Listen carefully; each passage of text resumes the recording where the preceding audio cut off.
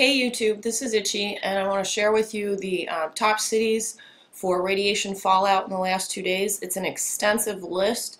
There's actually 18 cities that are above danger levels and some of them as high as 7 or 800 counts per minute.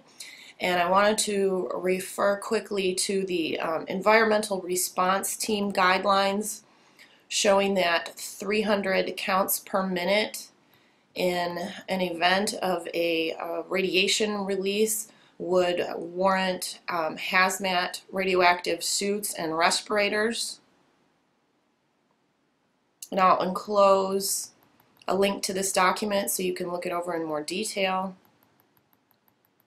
Um, they have uh, extensive guidelines here, anything from volcanoes to fertilize fire, fertilizer fires, and uh, the radiation scale is indicated uh, here at the bottom of the chart. It's 10 microrems per hour or 300 counts per minute.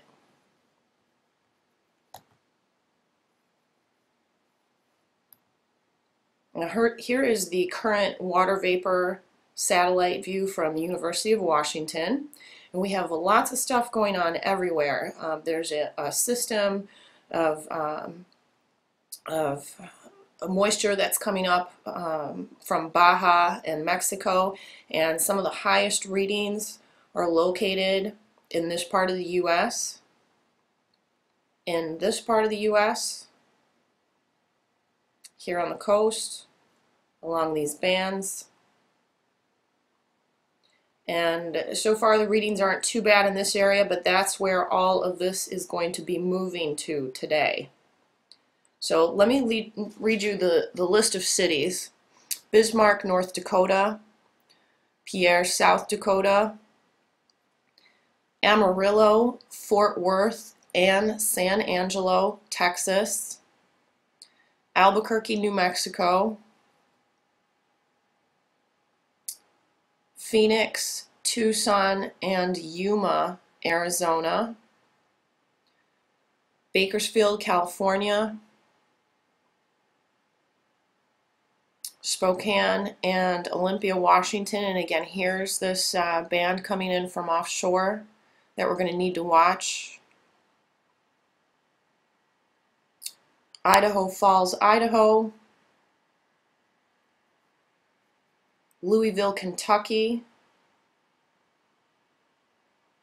St. Paul, Minnesota. And Kearney, Nebraska.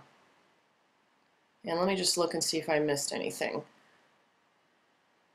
Salt Lake City, Utah, also. Now, when we look at the uh, rainfall map for the next five days, you can see a large portion of the country is expecting rain. This is the rainfall that we've had within the last 24 hours. And all of these areas are basically where the high readings were coming in, with the exception of uh, Wisconsin, Illinois, and Michigan. Also, I didn't see too many high readings here.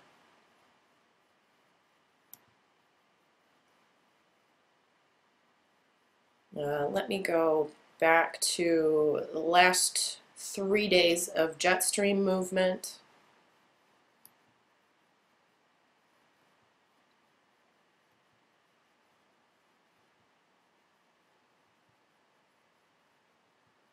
Now both of these bands here are what seem to be reading high and the tail end of this one.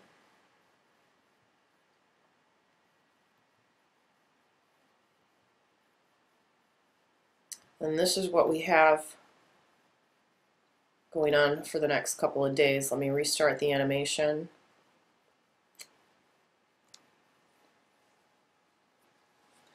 This is right now. Thursday, Friday, Saturday. And again, let's go back to the water vapor analysis. Now, in addition to the areas that are covered by the jet stream and uh, areas where precipitation is predicted, uh, I really want to keep an eye on these bands because what we've been finding is that some of the highest fallout is occurring along these areas of demarcation. And you can see we've got a few of them. Now this band is what moved through North and South Dakota. And that's now moving through Wisconsin, Michigan, and then on into uh, Ontario and New England. The part of the country that I'm probably least concerned with right now is here.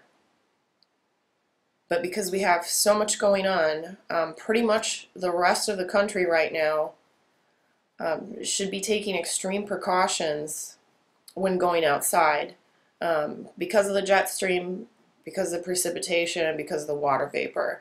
Also, uh, there has been um, possibly some releases that have gone on since the De December 7th emergency nighttime drill by TEPCO.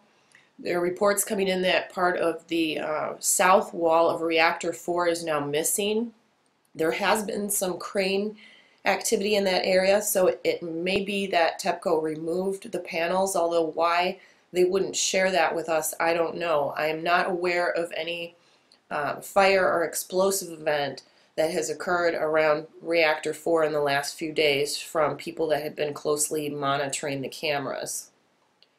So that's what we have right now. I'll post a link um, to the EPA guidelines for emergency workers for you to look over and links to all of these graphs. But right now, um, we really need every local weather station in the country to be doing these reports because it's it's really difficult to do them from coast to coast and get any kind of accuracy or, or um, pinpoint the highest areas, if it was done on a smaller scale, it, it would be much more reliable.